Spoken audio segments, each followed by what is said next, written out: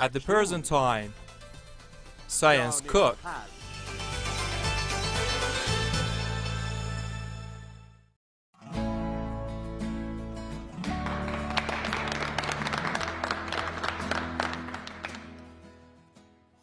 Welcome ladies and gentlemen. I'm Alireza Khanjari as a science cook. Science cook is a person who wants to cook science issue in a way not only stay in anybody's stomach, but also everybody can digest it. Even if that science issue relate to spread a tablecloth for trillion uninvited guests. Now, recipe for feeding trillion uninvited guests. A piece of bread, 45 to 60 grams of low-fat cheese, vegetables as required more and more, walnut as required, and 200 square meters tablecloth.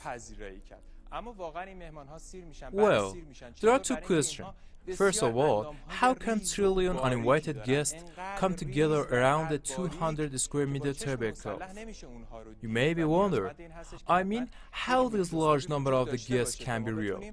However, the total population of the world is nearly 7 billion people, so the number of our guests are more than the number of the people around the world. Is it possible? I say yes, it's possible.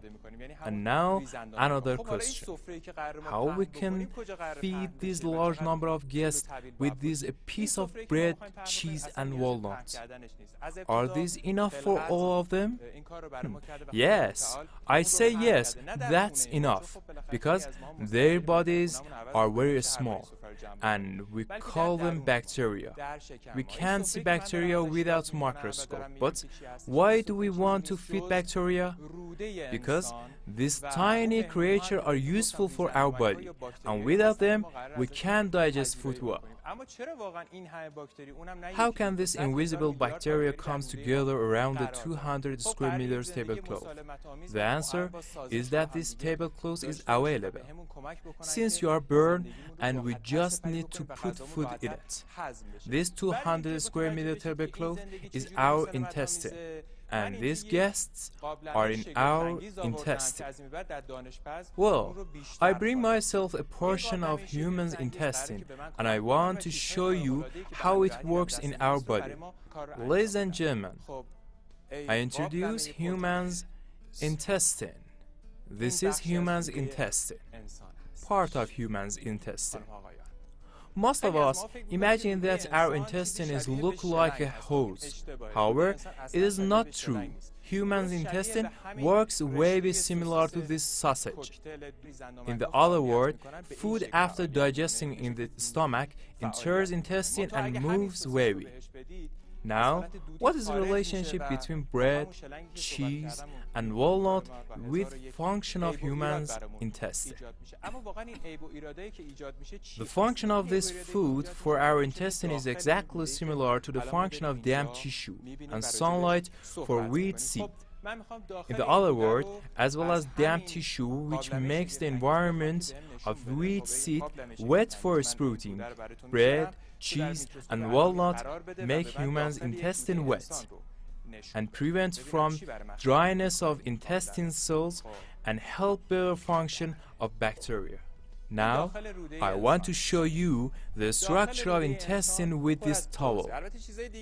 Bread, cheese, walnut and vegetable are interested food of bacteria because this food is full of fiber and probiotics.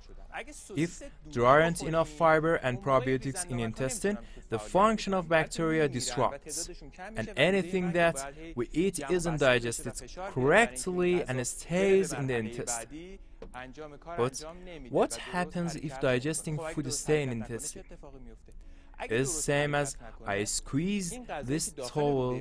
As you see, if I squeeze this towel more and more, it becomes dry and loses its water. This happens exactly in human's intestine when we can't digest food correctly.